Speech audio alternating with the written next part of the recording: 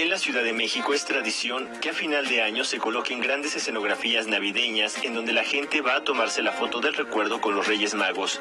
Primero se colocaban atrás del Palacio de Bellas Artes, pero después fueron reubicados en la Plaza del Monumento a la Revolución.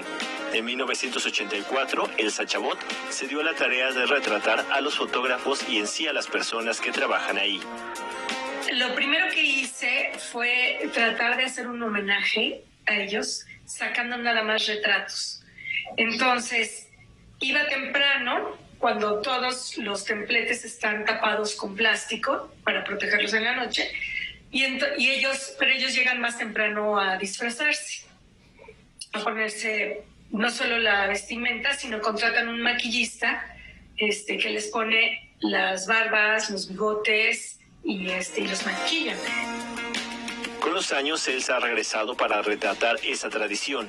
Ahora nos presenta una selección de ese trabajo en el Museo Archivo de la Fotografía bajo el título Iban guiados por una estrella.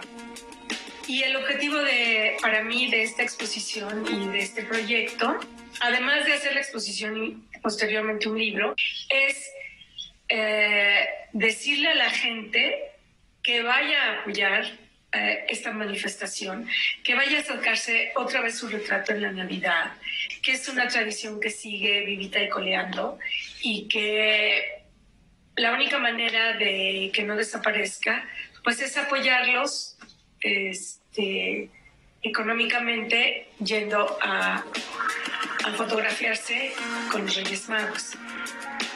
Además de los Reyes Magos, el Sachabot ha registrado cómo han ido incluyendo otros personajes, de tal manera que sus imágenes a color y en blanco y negro nos hablan de una tradición viva que se transforma. El blanco y negro desnuda la foto. O sea, cuando pones una foto en blanco y negro, tiene que ser como buena la foto, porque no está apoyada en el color, no te distrae el color, Sino que ves directamente las formas, directamente el mensaje. Entonces, las fotografías tal vez que consideré mejores o que consideré que, distraía el color, entonces las pasé a blanco y negro. Y yo espero que si se ponen en esta Navidad, que esperemos que sí, este, yo quisiera ir a retratar la feria para dar todo el contexto de, dónde se realiza este evento.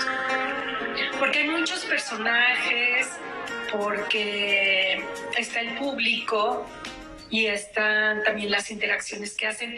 Y hay muchas cosas, como están insertados ya dentro de la feria, entonces hay muchas cosas que suceden al mismo tiempo.